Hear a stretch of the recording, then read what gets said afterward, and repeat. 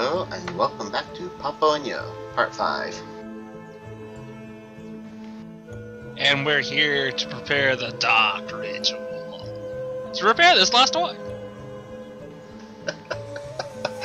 yes, the Dark Reviving Ritual. Also, war paint.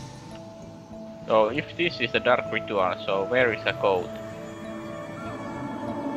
Now to prepare the sacrifice. Okay.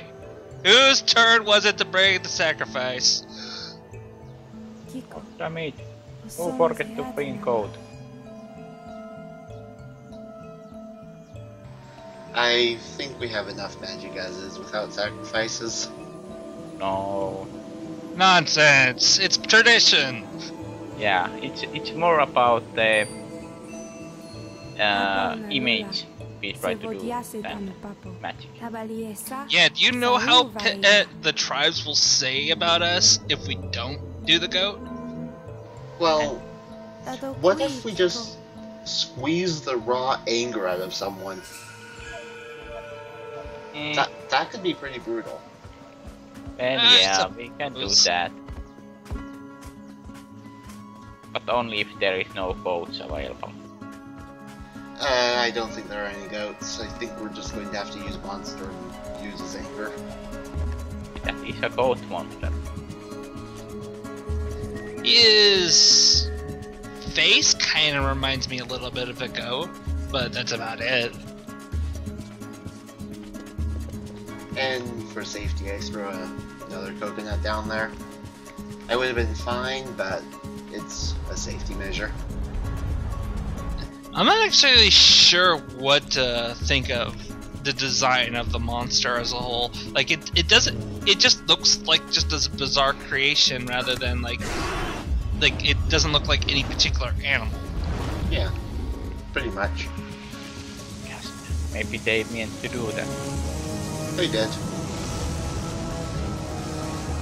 We should we solve this real fast. Yeah, it wasn't very hard.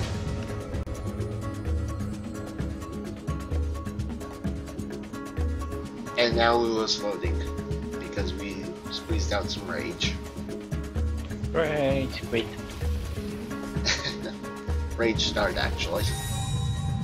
Damn. Yeah. He's gonna get you. He's gonna get you.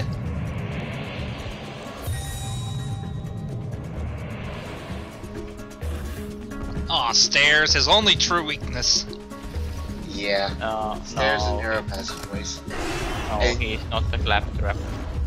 You can actually move during this cutscene, but if you're not careful, you can get stuck in the geometry and have to restart from the last checkpoint, which was before we started the cutscene with Alejandra. So, Oh. not recommended to have to start from the checkpoint. Yeah, so that is bad. Yep. I do like it when you actually retain control. Uh oh. There you go. I managed to get out of it though. because I was only very slightly in. I do like it when you can retain control during cutscenes in games. Yeah, it's a nice thing. But yeah, it's possible to get all the way to where I am now in that cutscene. So, very fast if you can control it right. And that bit during that turn always scares me. He never catches me, but it always scares me. Yeah, because he's right there. and He's like, I'm gonna get you. I'm gonna get you. Oh, I didn't get you. Now I'm Jack. Okay, so that's all three bits of anger. If it wasn't for the fact you saw this trail going off, I'd just say you're not really squeezing the anger out of him. He's just kind of like, ah, this just really isn't worth it.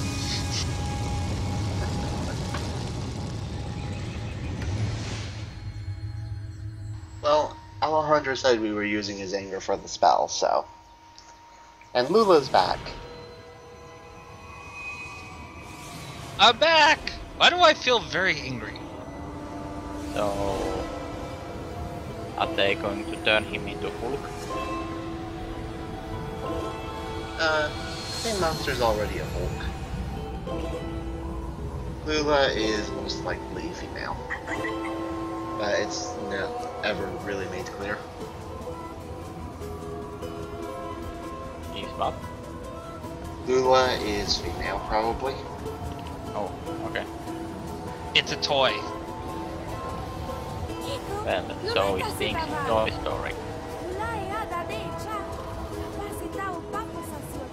How did you say that in the text? bo- I... It's like Sims gibberish with their imagery. Ozzy, we've gone th- we've gone over this many times with you. Don't try to put logic in video games. Especially in Nintendo So does Lula gain anything unique from this, being filled with the power of rage and non-sacrificial goats? No, she's just alive again. Which is awesome. Yep, Okay. Lula's back, our true friend, Yeah. and we can double jump again. Those kids in from Fullmetal Alchemist should learn from me. Yeah, Yeah, Hey, this is how you do a dark ritual. yeah, you just squeeze out someone's pure rage. and you don't lose any extra limbs or bodies or souls. Yeah, and again, this is an old strat. There's a new one where you don't grab any of this. You skip this entire puzzle with the new strats, but I didn't know about it at this time.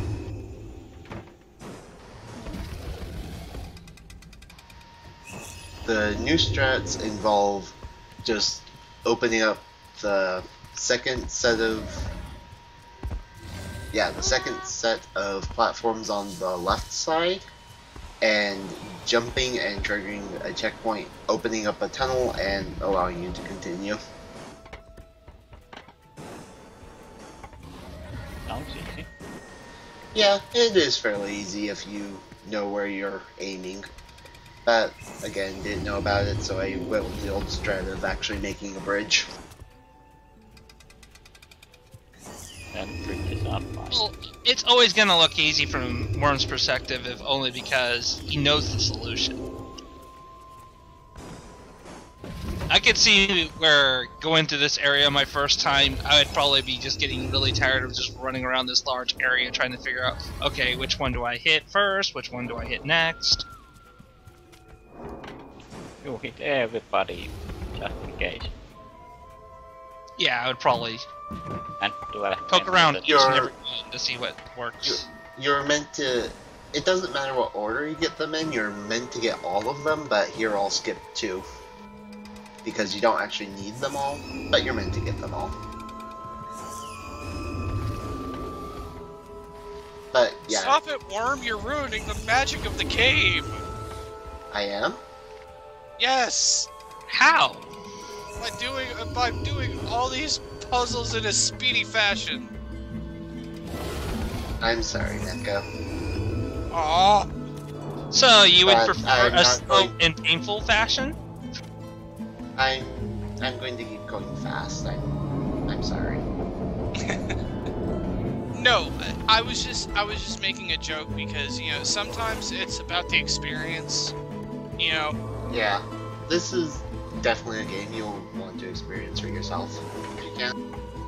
I, I understand that, but you're only really gonna get that experience your first time. That's one of the things I really enjoy about speedrunning is the fact that after you've had that experience, now you you can challenge yourself to go back to that game and get uh, an entirely new experience. Ah, well, I think uh, that is kind of different with the games like, uh, yeah, I like in because basically uh, you really don't know the story at the first time, but when you play it second time, or see it on played on second time, in my case, because I don't have played this, but I have seen Wyrm play it multiple times, you notice more things about the game and like uh, what everything means while you play. Because here there is a lot of symbolism in this game. Yeah, lots and lots of symbolism. Oh, I'm sure there is. Uh, some of the some of my favorite games or movies have done that to me. I I didn't quite get off the platform, but if you get a if you run off this platform before you trigger this cutscene, uh, there will be two versions of Quico. One will be down there with Monster getting tossed around through this entire cutscene, and the other will be up here standing and talking to Alejandra. Which is freaking hilarious. Yeah, I tried to get it, but I didn't quite manage.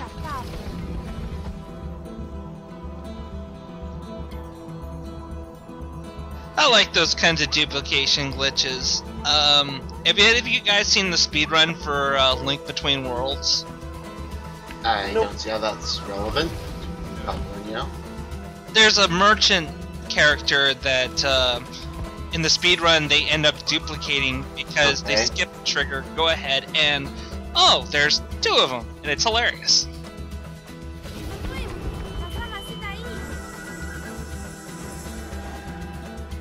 And then there are So we basically just chase this key across the platforms to trap Monster and allow Alejandro to fix the chalk line. you know, duplicate speedruns.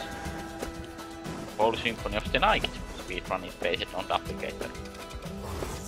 So this platform's always But- there, but I think they're just invisible. Yep, pretty much. You can get, you can land on them just before they appear, but their hitboxes will disappear and you'll fall through them if you're too fast or too slow. You're too slow. Fuck. Why did I make that joke?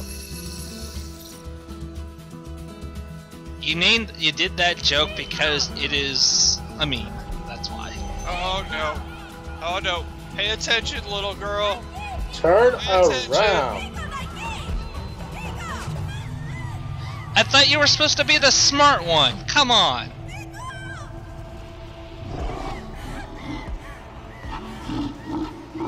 Bible thump. And you're dead.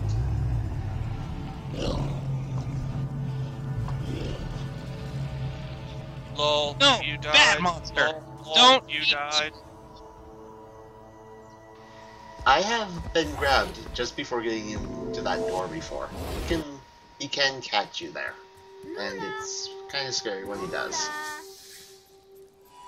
And we actually walk through the stone above the door, and we'll see next part.